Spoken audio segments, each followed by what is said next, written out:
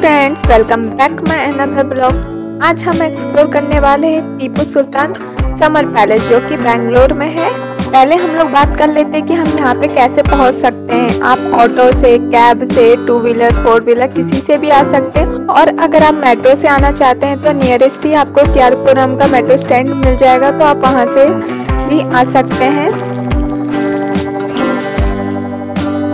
Palace का कोई भी पार्किंग एरिया नहीं है तो इसका गेट नंबर फोर पे जाके आपको पार्किंग करनी पड़ेगी। टू व्हीलर का आपको पार्किंग चार्ज ट्वेंटी रुपीज़ देना होगा और फोर व्हीलर का आपको फिफ्टी रुपीज़ पार्किंग चार्ज पे करना होगा। आप जब यहाँ पे आएँगे तो आपको ऑनलाइन टिकट ही लेना पड़ेगा। तो ये बार कोड है आप यहाँ से स्कैन करके आप वेबसाइट पे जाके अपना सारा डिटेल फिल कर सकते हैं कि आपका नाम क्या है आप कितने लोग आए हुए हैं। आपका इसमें एक आपका आईडी प्रूफ भी लगेगा तो आप कोई भी अपना आईडी प्रूफ की डिटेल फिल कर सकते हैं जिससे कि आप, आपका वेरिफिकेशन हो जाएगा और अमाउंट भी आपको पे करना होगा जिसका प्राइस है पर पर्सन ट्वेंटी रुपीज़ लगता है। तो जब आपका रजिस्ट्रेशन हो जाता है तो आपको गार्ड को दिखाना, वो स्कैन करेंगे, उससे उनके पास डिटेल आ जाएगी तो वो आपको अंदर जाने की परमिशन दे देंगे। यहाँ पे आपको ऑनलाइन ही टिकट लेना होगा, यहाँ पे ऑफलाइन टिकट की व्यवस्था नहीं है। तो चलिए अब हम अंदर की ओर चलते हैं।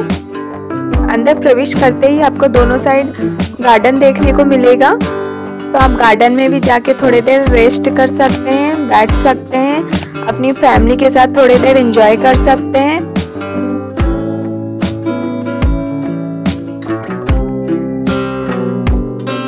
पैलेस के दूसरे साइड भी आपको गार्डन देखने को मिलेगा तो आप वहाँ भी जाके बैठ सकते हैं, कुछ खा सकते हैं बट वहाँ पे इस बात का ध्यान रखिएगा कि कोई भी गंदगी ना फैलाए। जो भी आप खा रहे हैं, उसका जो रैपर हो रहा है, उसको डस्टबिन में ही प्रॉपर तरीके से डाल दें। आप देख सकते हैं यहाँ पे गार्डन में कितने अच्छे से मेंटेन किया गया हुआ है। कितनी साफ़ सफ़ाई का भी ध्यान रखा गया हुआ है। अगर आप ये पैलेस विज़िट करना चाहते हैं तो इसकी टाइमिंग की बात कर लेते हैं। इसका टाइमिंग है मॉर्निंग में 8:30 पे ओपन हो जाता है और इवनिंग में 5:30 पे क्लोज हो जाता है। अगर आप इस पैलेस में आते हैं और आप इसकी हिस्ट्री जानना चाहते हैं तो यहाँ पे आपको बहुत सारे गाइड भी मिल जाएँगे तो आप उनसे भी संपर्क कर सकते हैं और उनसे भी पूरे हिस्ट्री जान सकते हैं इस पैलेस के बारे में। तो चलिए, अब हम लोग फ़र्स्ट फ्लोर पे चलते हैं, क्योंकि ग्राउंड फ्लोर में भी कुछ काम चल रहा था तो वहाँ पे बंद कर दिया गया नहीं तो ग्राउंड फ्लोर में म्यूज़ियम है तो आप म्यूज़ियम में भी इंजॉय कर सकते हैं। टीपू सुल्तान पैलेस का निर्माण नवाब हैदर अली खान ने 1781 में बनाना चालू किया था और ये बन के रेडी हो गया था 1791 में। लगभग इसे बनने में 10 ईयर का टाइम लगा था।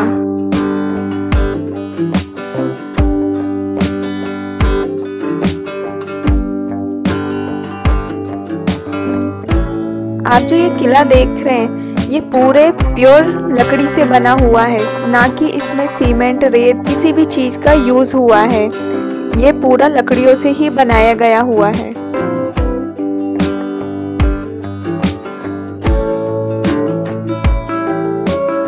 ये जो आप सेंटर में देख रहे हैं, ये दीवानी खास है। यहाँ पे यहाँ पे टीपू सुल्तान का दरबार लगता था, जो कि जनताओं के लिए रहता था, उनकी समस्या को जानने के लिए रहता था। और उसके समाधान के लिए यहाँ पे दरबार लगाया जाता था।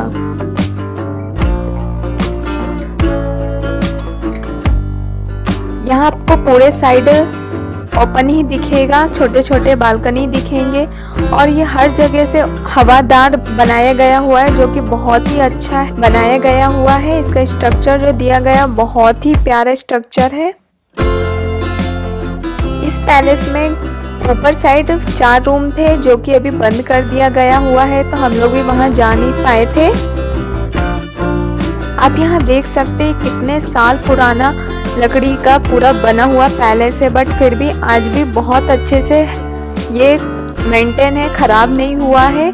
बहुत जगह ख़राब हो गया है, क्योंकि इसकी मरम्मत नहीं शायद हो पा रही है अच्छे से, इस वजह से कहीं कहीं ख़राब हो गया। वरना देखा जाए तो ये पैलेस आज भी बहुत खूबसूरत लगता है। अगर आप हिस्टोरिकल लवर हो तो ये प्लेस आपके लिए बहुत ही अच्छा है यहाँ पे विज़िट करने के लिए। बट यहाँ पे वैसा ज़्यादा कुछ है नहीं। आप वन टाइम आके यहाँ पे विज़िट कर सकते हैं, देख सकते हैं कि ये पैलेस कैसा बना था, आज भी कैसा दिखता है और इसकी हिस्ट्री के बारे में आप जान सकते हैं। यहाँ पे आपको बोर्ड भी दिख जाएँगे, जहाँ पे पूरा हिस्ट्री के बारे में लिखा हुआ है। आप वहाँ से भी पढ़ सकते हैं।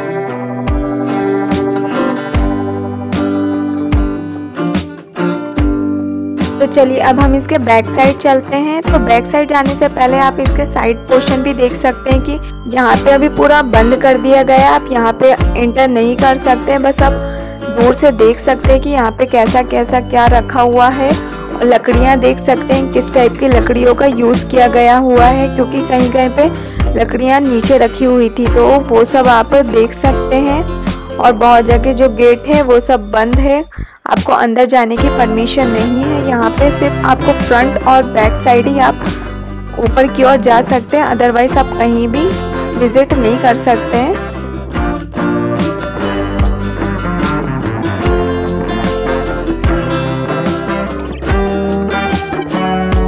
आपको न्यू न्यू जगह एक्सप्लोर करने का शौक है तो हमारे चैनल पर आपको और भी बहुत सारी वीडियो देखने को मिल जाएगी। और अगर आपको और भी कहीं घूमना है, उसकी इन्फॉर्मेशन चाहते हैं तो हमारे चैनल में विज़िट करना ना भूलें।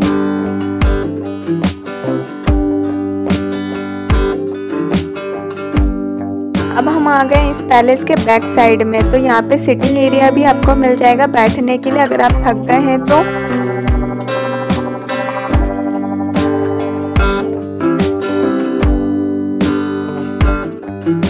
और यहाँ से भी आप ऊपर की ओर जा सकते हैं। बैक साइड में भी आप फ़ोटो क्लिक करवा सकते हैं। यहाँ भी बहुत अच्छा फ़ोटो आता है। और अगर आप यहाँ पे इंटर करते हैं, जैसे कि आपको डाउट होगा कि यहाँ पे आपको कैमरा अगर लेके आते हैं तो आपको उसके चार्जेस अलग से पे करने पड़ेंगे। तो ऐसा कुछ नहीं है। यहाँ पे कैमरा का चार्ज अलग से आपको कोई पे करने की ज़रूरत नहीं है। बस एंट्री फ़ीस आपकी ट्वेंटी रुपीज़ पर पर्सन लगेगा। स्कूल टाइम में तो सबने ही टीपू सुल्तान की हिस्ट्री के बारे में पढ़े ही थे। पढ़ते वक्त आपने ये भी सुना होगा जिसमें टीपू सुल्तान को टाइगर ऑफ़ मैसूर के नाम से भी जाना जाता है। टीपू सुल्तान के इस पैलेस को सुख का निवास भी कहा जाता है, जिसे खुशियों का महल भी कहा जाता है।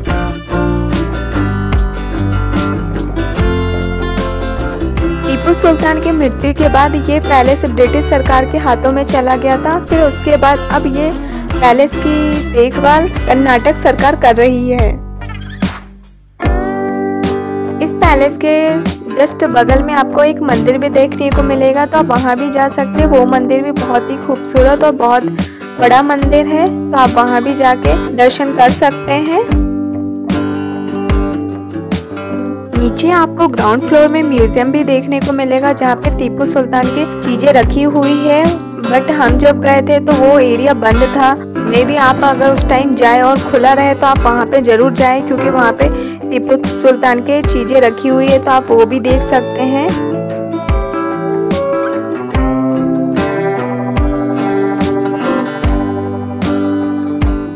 अगर आप इस चैनल पर नए आए हुए हैं तो प्लीज़ लाइक सब्सक्राइब और शेयर करना ना भूलें और कमेंट करके ज़रूर बताएँ कि आपको ये वीडियो कैसा लगा।